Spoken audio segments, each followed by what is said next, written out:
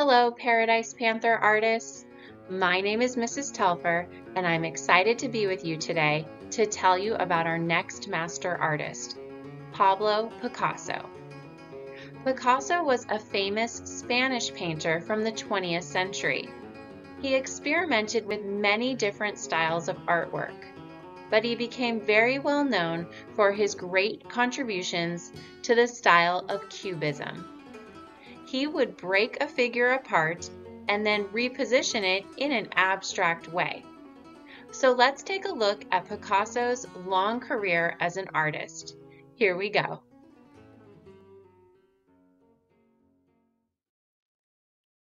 Today, let's pretend that you have a father who is a famous artist. He wants to paint your portrait, so you pose for him in his studio. He is going to paint you twice. In the first portrait, you will be sitting in a chair wearing a clown costume. The second one also has you sitting in a chair, but this time you will be holding an orange, which is your favorite fruit. Look at these two paintings. I am surprised because the same artist painted both of them. However, the styles are very different from each other. The left portrait is a realistic looking painting of our artist's son, Paul. But in the right portrait, he painted his daughter, Paloma, in an abstract style which means it does not look real and it does not look like a photograph. The styles are different because he kept on changing the way he painted. He was never content to stay with what was successful. His painting styles would become popular and other artists would begin to copy him. Then he would be off trying something completely new. That is one reason why he is one of the most famous artists of the 1900s. Let's meet today's master artist and find out how and why his work changed. Let me introduce Pablo Picasso. He was born in Spain but lived in France most of his life. He was introduced to art very early because his father was a painter and an art teacher. He learned to draw before he could even walk or talk. He was so good at drawing that he entered an art school at the age of 13. Most of the other students were over 20 years old, but young Picasso was more talented. The directors allowed young Picasso to attend after seeing samples of his excellent work, like the painting of the girl in the red dress. He showed great talent and completed the art course in record time. Picasso had two sides to him that we can't see in this self-portrait. One side was fun-loving and silly, but he had many unhappy times in his life too. Here he is showing us his serious, sad side. After he left art school, he had some hard years as an artist. He was unknown, he was hungry, and he was lonely. The paintings he did during this time showed how he felt. He was unhappy. Using a quiet hand, raise your hand if you have ever heard the expression feeling blue.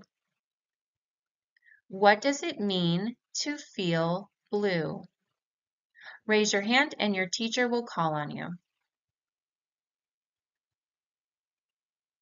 Thank you. You can put your hands down now.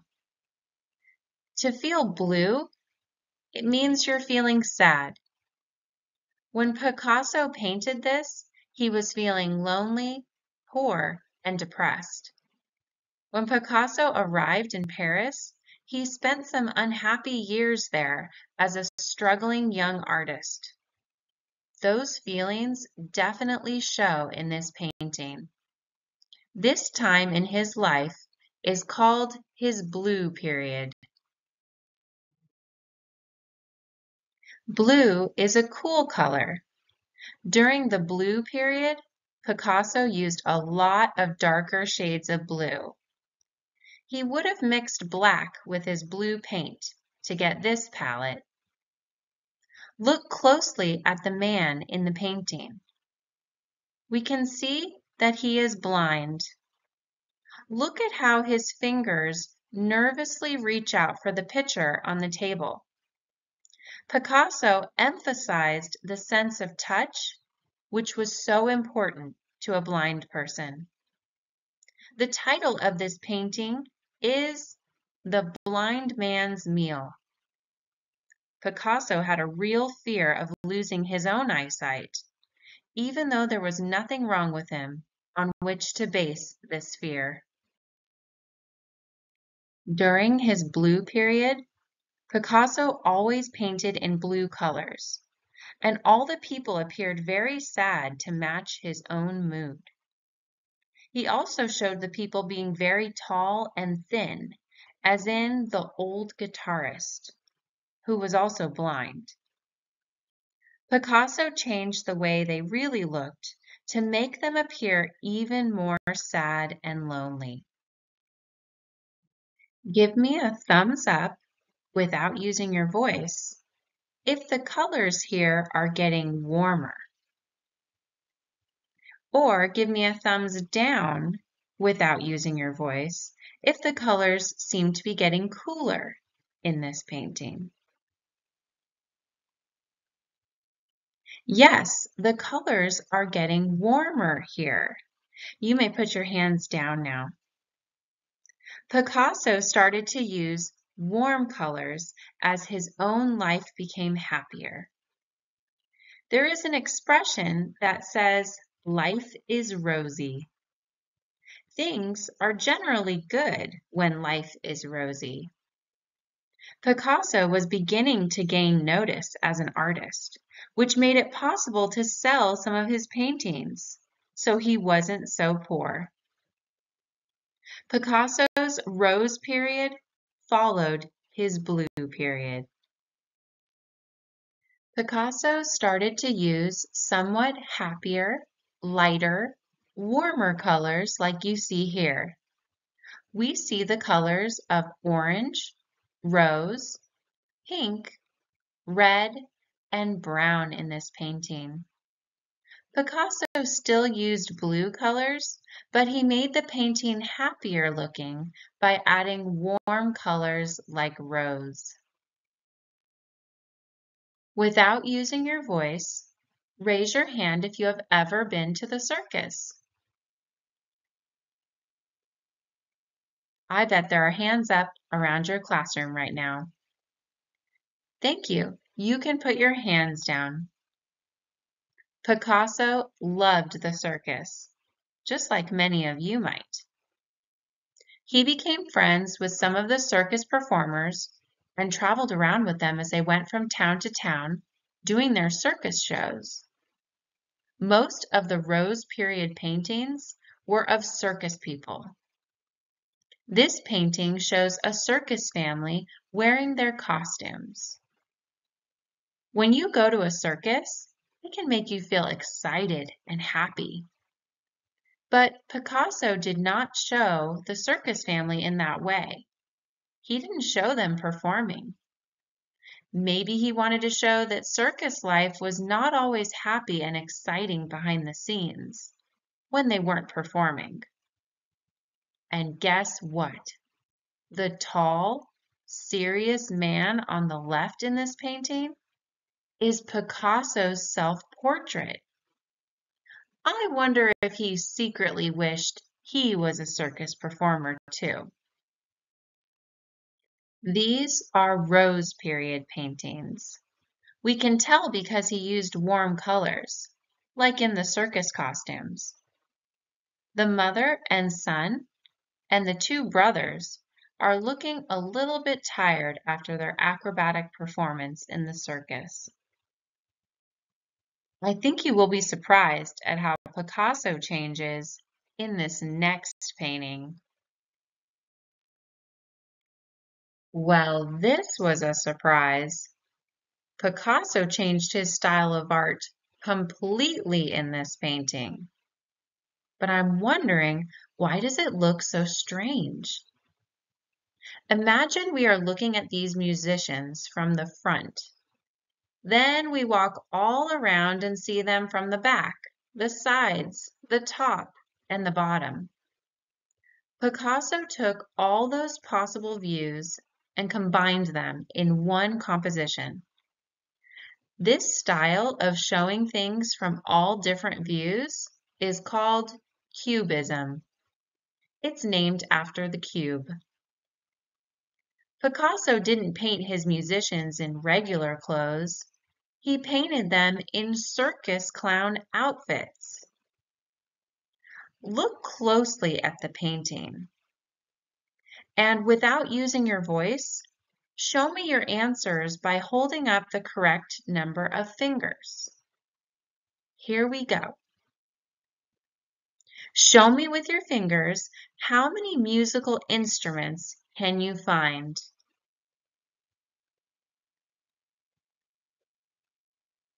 Yes, we can see three musical instruments. One, two, and three. Now, show me with your fingers how many music books are there? Yes, we can see one music book. And last, how many violins can you find? Yes, there is only one violin right here. That's very good. Now, let's look closely at these three instruments. We see a violin, a horn, and a keyboard. Picasso mixed up all those shapes and lines to make it like a puzzle we have to put together. Let's solve the puzzle with one more search we can find the side view of the clown's face somewhere other than on his face. Look closely.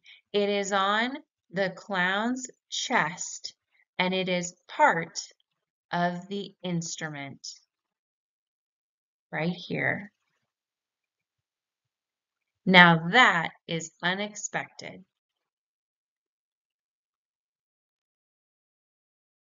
This is also a Cubist painting.